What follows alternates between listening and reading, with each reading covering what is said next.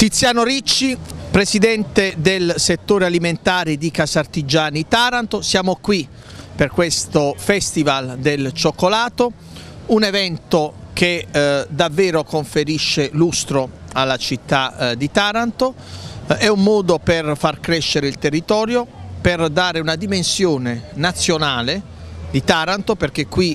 come vedete vi sono varie realtà artigianali nell'ambito della produzione del cioccolato provenienti da tutta Italia. Una manifestazione che oltretutto a differenza di altre che si sono realizzate in passato eh, rispetta le varie normative per eh, appunto eventi del genere, eventi di massa con il rispetto delle normative nei vari settori. Sì, assolutamente sì, una manifestazione importante a livello nazionale, è lo stesso festival che fanno a Sulmona, quindi non parliamo di una cosuccia, insomma, è un, è un evento importante,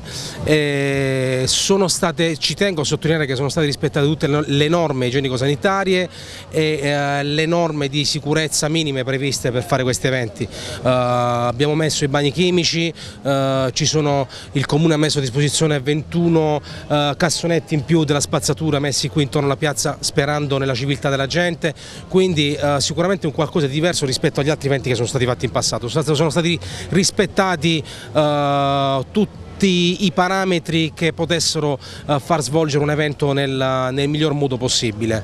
Oltretutto abbiamo anche rispettato i commercianti della città, uh, poiché prima di uh, invita invitare tutti i partecipanti a questo evento, mi riferisco a coloro che hanno, i, hanno preso in, in, in fitto i gazebi, le, queste pagode, abbiamo mandato 480 raccomandati a tutte le pasticcerie e le cioccolaterie di Taranto,